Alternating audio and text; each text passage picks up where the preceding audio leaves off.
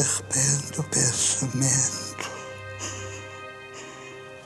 como que de repente refriado, na doida correria encalvado e em busca da paz, do esquecimento. Para surpresa escrutador atento, como para um cavalo alucinado ante um abismo de súbito rasgado, para e fica e demora-se um momento. Para e fica na doida correria, para à beira do abismo e se demora e mergulha na noite escura e fria. Um olhar de aço que essa noite explora, mas a espora da dor seu flanco estria e ele galga e prossegue sobre a espora.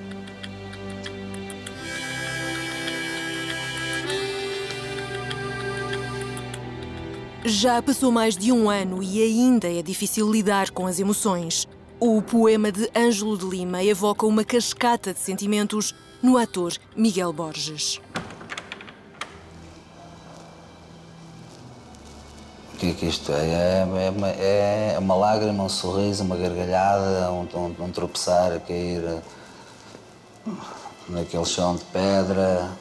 São corredores altíssimos, são pessoas abandonadas, corpos doentes em cabeças saudáveis e, e um suspiro muito grande, é muito, é muito grande, é muito grande, é demasiado, é enorme.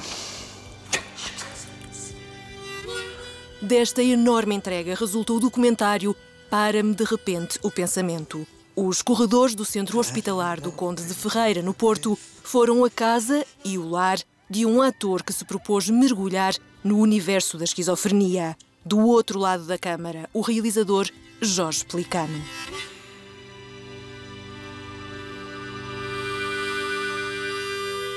Havia uma grande preocupação minha com o Miguel se uh, ele se estava a sentir bem. Uh, porque de facto não deve ser fácil também para um, para um próprio ator, porque ele dormiu lá, ele, ele nunca saiu do, do hospital. Eu senti essa necessidade de sair, porque eu queria mesmo sair, não, não queria ficar, porque queria respirar um pouco uh, daquelas aquelas histórias.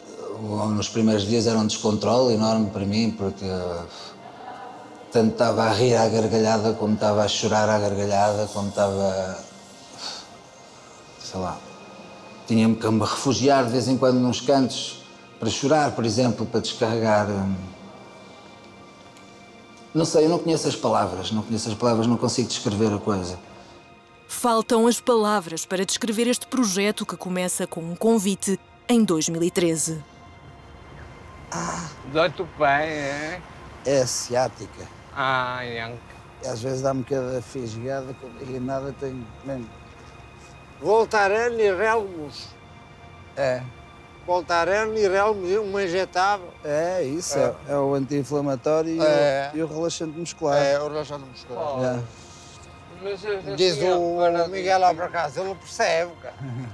Fui farmacêutico, eu. Pois, exato. Eu fui exato. o homem dos sete ofícios. Miguel. Mas é isso mesmo, já tinha ali uma E já foi segurança. É? Já foi segurança. Yeah. Yeah. Do quê? Olha que eu cheguei e trabalhei num talho, a motorista, e vinha aqui trazer carne.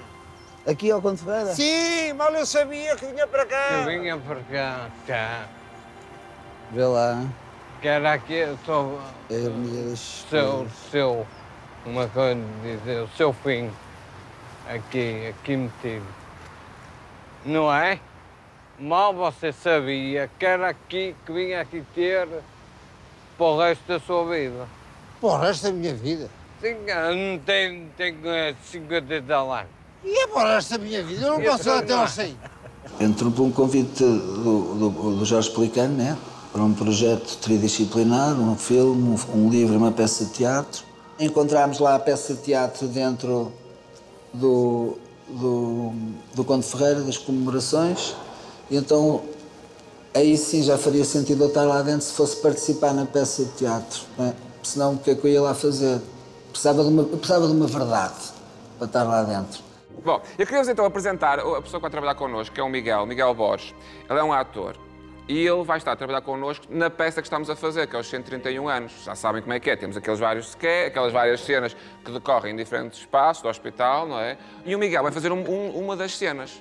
E acho que há um, há um ponto de viragem no, no, próprio documentário, que é a, a descoberta do, uh, do personagem de Anjo de Lima, o poeta uh, que, que, viveu, o poeta louco que viveu no hospital psiquiátrico uh, e que é interpretado pelo Miguel. E a partir daí, em que a gente descobre esse caminho do Anjo de Lima, é por aí que, que, que eu, que eu decido investir correndo o risco de ficando muitas outras coisas por contar, mas eu acho que nós também temos que ter essa decisão de, a determinado momento, nós temos que ir por esse caminho e acreditá-lo uh, em levar esse caminho até ao fim.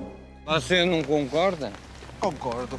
Podia ir também, tinha não. lugar lá para si e não, fazia sabes, bem. Sabes? Fazia-lhe bem. Ah, ah, não me engano. Não gosto de cigarro.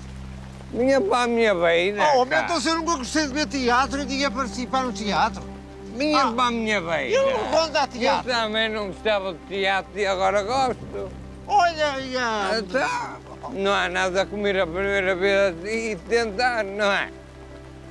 E a primeira vez via, via se gostava ou não. O professor dá muita força aos utentes que tem e você dava um bom. Um, um bom. como é que se chama? Bom ator. Um bom ator de teatro que você, quando queime, dá piada. Quando eu vi a primeira vez o documentário, achei, achei que era um trabalho brilhante da parte do Jorge Pelicano. Foi isso que eu achei. Porque porque nós tínhamos montes de condicionantes por causa da direção do hospital e da Santa Casa. Nós uh, uh, tentámos uh, não interferir no trabalho um do outro. O Miguel sabe perfeitamente aquilo que eu, que eu, que eu estava a fazer dentro do hospital, estava a documentar aquela realidade onde ele estava inserido, mas de certa maneira eu não queria interferir no trabalho dele, nem, eu queria, nem ele queria interferir no, no, no, no, no nosso trabalho. Passa? Eles vêm, Deus nos ajude, coitados. Já viu, Sr. Doutor? Parecem criminosos. Doravante, nesta casa nunca mais serão usadas correntes e grilhetas. Estas pessoas são doentes, não são criminosos. É, Veja, pois, como doentes que devem ser tratados. Veja, doutor. Se me enfiarem aí dentro, eu pego fogo a isto tudo, como fiz na minha casa. Quem é esta senhora, esta pobre coitada? É a menina Júlia Rosa, senhor doutor, que deitou fogo à sua casa e que está fogo na igreja da paróquia. Ela. Eu queimo isto tudo, garanto que queimo. Senhora enfermeira, leve por um momento esta menina para aqui de enfermaria, faz favor. Bem, eu vou. Senhora enfermeira, vai com o senhor não vou. Vai, vai. É melhor, vai, filha, vai. Não quero ir. O que encontrei lá dentro é, é, é precioso, sim, é precioso demais, é muito, é muito sagrado. Sempre que vou ao Porto, a primeira coisa que faço é ir lá ver o pessoal. Eles querem que eu fique lá todos a dormir. Depois é assim muito louco, fazem assim tipo uma flor gigante, sabes? Eu estou no meio, vem assim uma pétala, outra pétala, outra vem uma pétala, tu fica assim um abraço gigante. Estás a ver os clichês, aquelas cenas pirosas, mesmo fleiras, mas tu choras porque não aguentas. Não aguentas. Tira-me a mão. Dá com calor. Tira a mão, tem das mãos. Está cheio de calor. Calma. calma. Laços estabelecidos pelo ator, despido, sem máscaras, numa unidade de saúde mental. E ainda assim fica tanto por revelar. Mas há muita coisa que foi, ficou muita coisa por contar e há coisas que eu próprio não quis contar, porque há segredos uh, que não deve ser o documentário ou o cinema a revelar. Pá, tive lá uma cena de já não sei a que propósito, de repente uh, emocionei-me com qualquer coisa e comecei a chorar, começaram a cair umas lágrimas e aproximou-se um daqueles indivíduos que, que, quase não falam. Não, não vou contar, deixa lá, isto é meu, é meu, é meu. É meu, não, não posso, não quero. Senão vou banalizar. E é assim, é, tão precioso que posso dar outros assim, mas não, não te, não te vou dar isso, desculpa lá. Percebes? Aí na rua, quando começa uma gargalhada de riso e tal, e as pessoas dizem assim, fó, Aquele indivíduo não é normal, não achas? É assim, devido à patologia dele, à doença dele, ele não tem culpa, é talvez as vivências, as vivências. É, psico, é uma psicose normal, confere. Está a rir, estás a ver?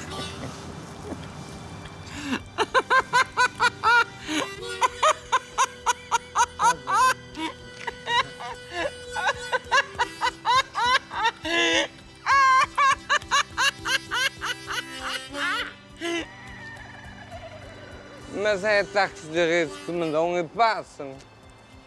Está a perceber? Não é assim? Eu sei.